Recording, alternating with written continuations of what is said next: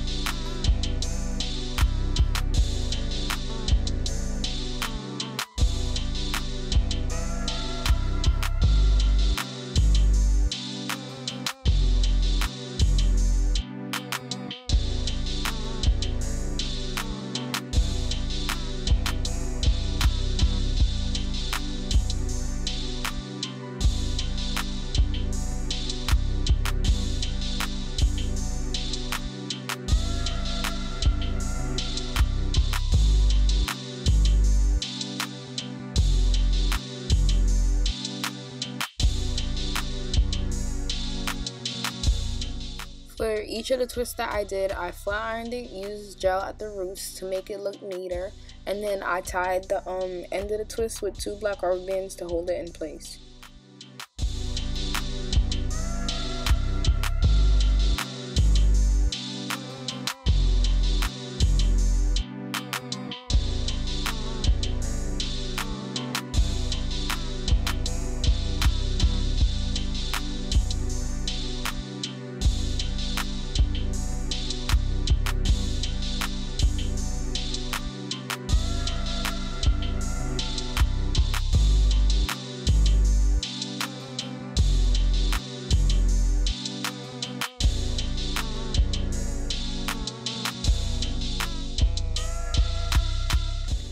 My camera ended up dying after I finished this twist, but for the next steps of the install, I used my permanent marker and covered the little um, over bleached parts.